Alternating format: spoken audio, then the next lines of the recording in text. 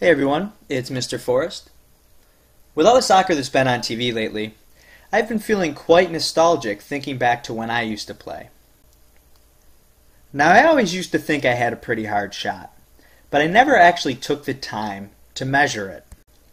So I decided to grab my camera, strap on my boots, and head out to the soccer field.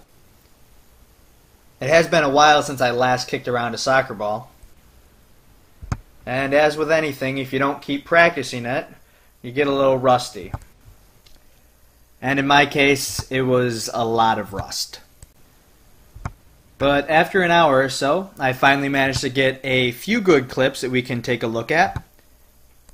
So let's go ahead and get started.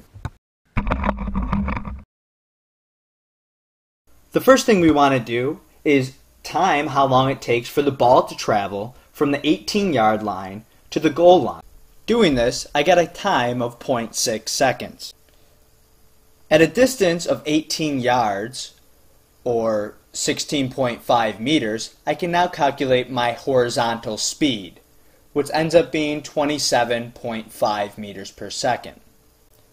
Next, I need to measure the launch angle of the ball. In order to do this, I set up my axis and take a measurement of 9.5 degrees. With my horizontal speed of 27.5 meters per second and my angle 9.5 degrees, remembering a little bit of trig can allow me to solve for my speed.